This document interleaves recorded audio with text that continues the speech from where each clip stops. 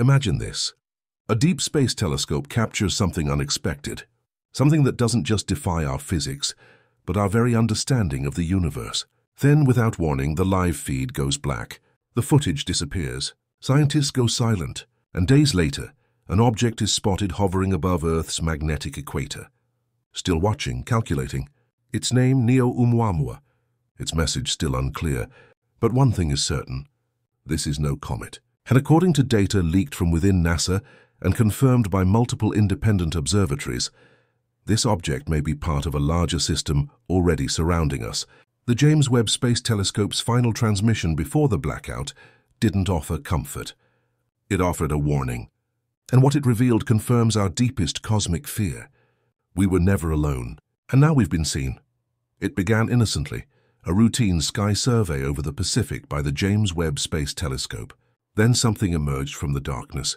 At first glance, it resembled the original Oumuamua that passed through the solar system in 2017, oddly shaped, fast and tumbling. But this time it wasn't just passing. It approached, slowed down, changed direction, and then it stopped. NASA's livestream abruptly cut out. Within minutes, the raw footage was pulled. The object was renamed Neo Oumuamua and marked as classified trajectory. But here's the part no one was supposed to see. Just before the blackout, JWST recorded a structured burst of prime number pulses aimed directly at Earth's magnetosphere. The universal language of intelligent life, as Carl Sagan predicted. It wasn't a transmission, it was a targeting signal. And the scariest part, we didn't send anything. This object didn't respond to us. It anticipated us. After the blackout, private observatories across South Africa and Chile reported erratic readings. Neo Oumuamua had changed velocity mid-flight without propulsion.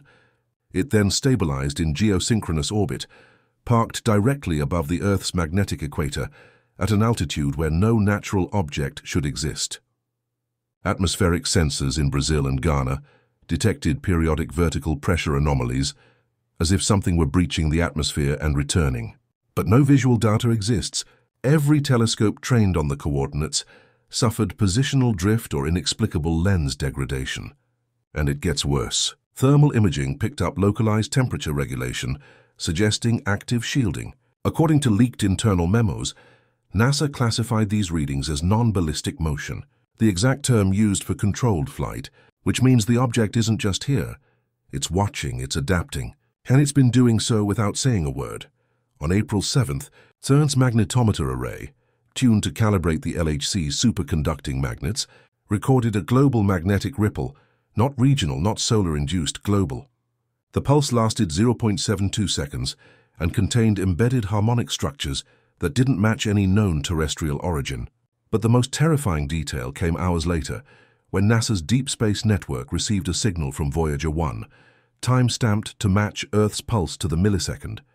Except this was impossible. Voyager 1 doesn't have the hardware to detect or transmit such data. The signal contained encoded wavelets, nested prime intervals, and quantum-corrected frame matrices far beyond anything Voyager was built to send. The conclusion, Voyager didn't create the signal. It was used. Someone or something activated it, and that activation coincided perfectly with Neo Oumuamua's prime number burst, as if a hidden system across our solar system had just woken up. Astrophysicist Brian Cox publicly broke ranks with cautious academia, suggesting that Neo Oumuamua might not be a probe, but a node, a silent surveillance system, a dormant network left to monitor civilizations like ours as we cross key technological thresholds. Think about it. No contact, no invasion, just observation and perhaps evaluation. This theory, now circulating in closed scientific panels, aligns with the Great Filter hypothesis that advanced civilizations don't reveal themselves because they've built systems to decide who's worthy of knowing. And now with the pulse detected by CERN and Voyager's impossible response, many believe we triggered the next phase, a test, a warning, a verdict. No one knows. But one thing is clear. We didn't find them. They found us a long time ago. And now that we've noticed them, the rules may be about to change. While the public waits for answers, something is breaking behind closed doors. Leaked documents from NASA and the European Space Agency reveal a deep fracture. Not about what Neo Oumuamua is, but about how long they've known. Internal emails show that orbital anomalies near Saturn were detected six months before the object was officially observed, but were classified as non-priority disturbances. An incident report labeled Echo 9 details that the James Webb Space Telescope had already logged distant irregular heat signatures approaching from the direction of the Oort cloud, yet no alert was issued. The reason, risk of panic. One senior ESA advisor reportedly wrote, the public cannot process what we're seeing, and so the data was buried, buried until the object arrived above our heads. But now that it has stopped, hovered, pulsed, that silence has become impossible to contain. For the first three days of its hovering above Earth's magnetic equator, Neo Oumuamua remained motionless, locked into a fixed orbital position.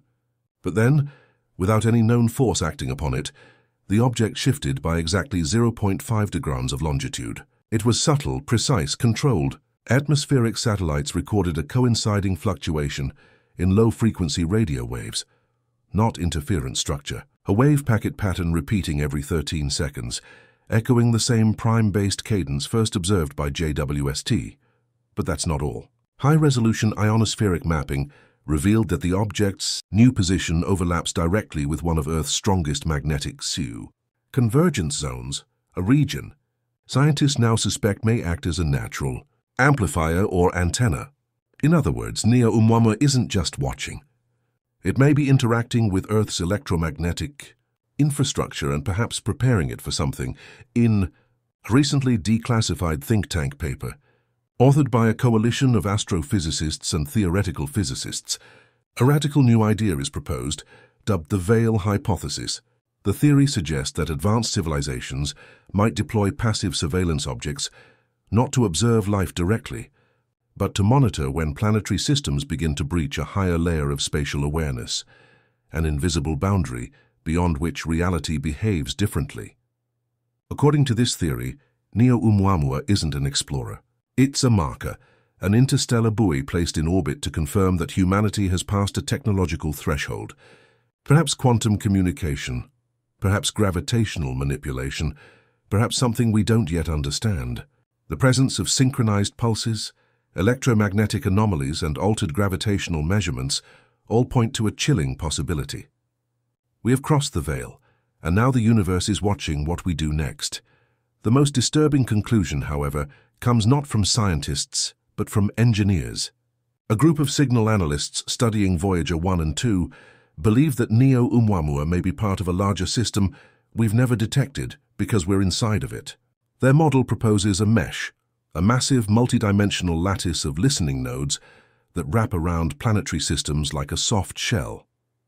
We never noticed it because we weren't loud enough. But now with our quantum experiments, space-based AI and gravity wave emissions, we've finally made enough noise to activate the net. According to their projections, what's hovering above us isn't a probe, it's a mirror, a perfectly silent device designed to reflect back exactly what we are. And what happens after that reflection completes remains terrifyingly unknown. For centuries, we believed we were the explorers. We built telescopes, launched spacecraft, mapped galaxies, all with the quiet hope that we might one day find something out there. But now, as Neo Oumuamua hovers silently above our world, not moving, not speaking, not attacking, we are forced to confront a darker, far more humbling truth. We were never the observers. We were always the observed. The James Webb Space Telescope didn't just catch an object drifting through space.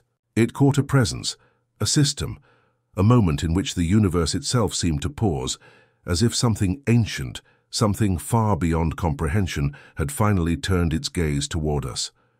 And in that gaze we didn't find welcome.